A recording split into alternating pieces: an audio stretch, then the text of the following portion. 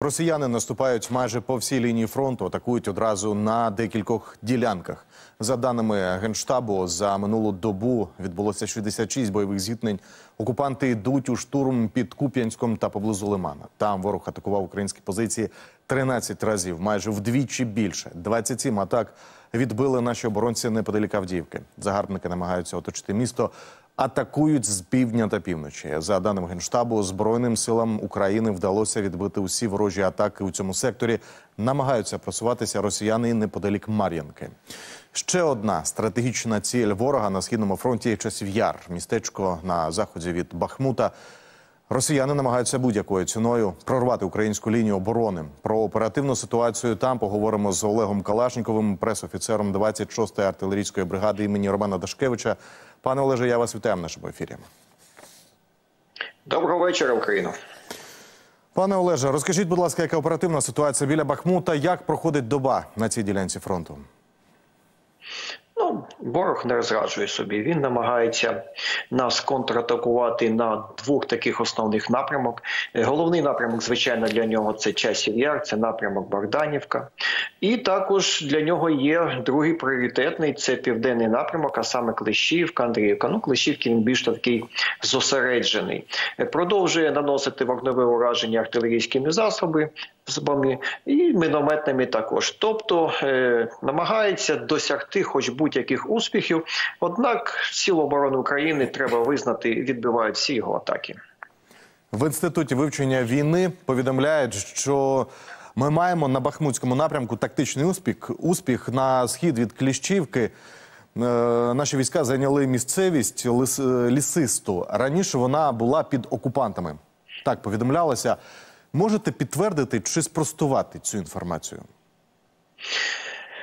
Ну, добре, значить, я почну трошки здалеку, але закінчу вашим питанням. Е, так, значить, е, маю сказати, що взагалі-то е, оці штурмові їхні дії вони досить таки динамічні. Є е, моменти, коли вони займають наші позиції, є моменти, коли ми відбиваємо з наших позицій або займаємо інші позиції. Тобто, це така тактична обст- обстановка на фронті, на будь-якій ділянці активній е, фронту. І вона б так сказав більш цікава безпосередньо командирам тих підрозділів, які знаходяться, ну і також командування ОТУ. Е, Щодо Клещівки, то ми можемо спостерігати е, досить такі дійсно активні дії з нашої сторони, і дійсно ми маємо успіх в просуванні звільненні деякої нашої території. От відби ми відбили з деяких позицій дійсно ворога. І звичайно їх зайняли. Однак хочу сказати, що обстановка дійсно дуже динамічна. Е, Так як кажуть, це гойдалки. Сьогодні ми якісь позиції зайняли, завтра вони. Ну це тактичний рівень, звичайно.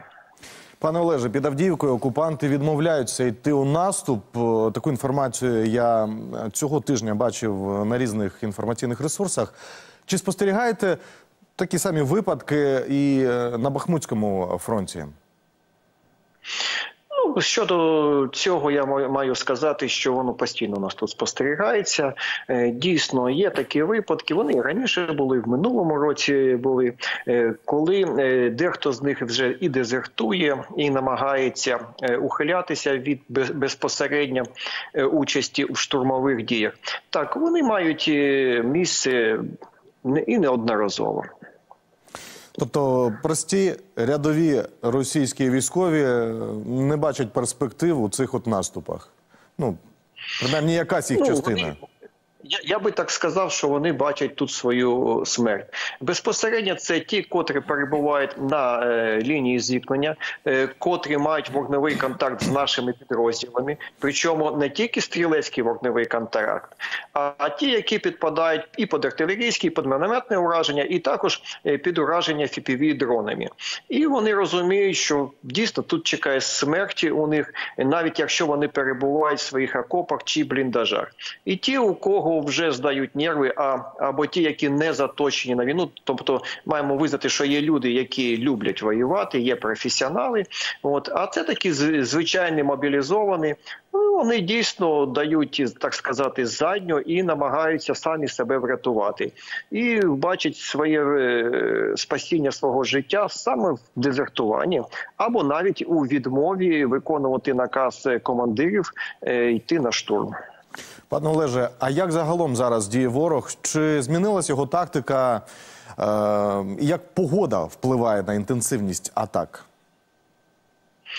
Ну, погода взагалі того дійсно має впливати на інтенсивність атак, вона і впливає. Е, однак е, маємо сказати, що останнім часом вони мають команду безперервних штурмових дій. Мабуть, це пов'язано з політичною обстановкою в самій державі, мабуть, з, тими, що наближаються вибори. От однак, дійсно, якщо погода не сприятлива, якщо е, вона є потепління, якщо земля розставша, ґрунт такий в'язкий, то звичайно використовувати механічну складову, особливо е, е, важку техніку, і навіть ті ж е, полегшені броньовані машини дещо важкувато. Однак тим не менше, коли дозволяє ландшафт, коли дозволяє все ж таки ґрунт, ворог намагається додавати до своїх стандартних нам вже звичних штурмових груп невеличких, то що були 8-12 чоловік. Зараз він намагає час від часу, навіть намагається нас штурмувати до роти в складі до роти. От але взагалі він все ж таки дотримується малих штурмових е, таких е, загонів. Однак е, ці загони підтримуються і бойовою броньованою технікою, як вогнем, так і десантування з них відбувається, також і танками. Тобто можна сказати і так, і так. На початку нашої з вами бесіди ви сказали, що ворог намагається рухатися в бік часового яру. Чому саме в напрямку цього населеного пункту? Чим він такий важливий для ворога? Я би так сказав, що по-перше, він важливий саме політичним рішенням. Ну, це я кажу вам свій погляд, е, тому що все ж таки вони мають показати перед виборами якісь більш-менш конкретні успіхи. До того ж, ми знаємо, що давно вже стоїться задача виходу на адмінні кордони Донецько-Луганської області. А якщо вже брати е, з військової точки зору, то е, це саме такий наш е, укріплений район, це такий рубіж, який перешкоджає ворогу е, просування далі. Це до е, Краматорсько-славянської конгломерації. Також звідси буде загроза безпосередньо, загроза безпосередня і Константинівці. Тобто для них є пріоритетним. Якби вони так е, мислять, якби вони змогли взяти наш цей рубіж, у них би далі е, відкривався би такий оперативний простір дальшого їхнього наступу. Також, якщо б вони змогли тут просунутися, то звичайно тут же йде на е, загроза на південний фланг, там же там, де Кліщіївка, Андріївка. Тобто нам би складніше було перебувати і на цьому безпосередньо фланзі. Ну і звичайно. З часу яру їм легше було би е, знищувати наші мирні міста, тому що е, дальність е, їхньої артилерії, бо вона під, підтягнулася, і звичайно могли би вражати наші безпосередньо мирну інфраструктуру, наших вбивати мирних мешканців. Це вони дуже так роблять, і я би навіть сказав, з якоюсь такою потаємною любов'ю роблять.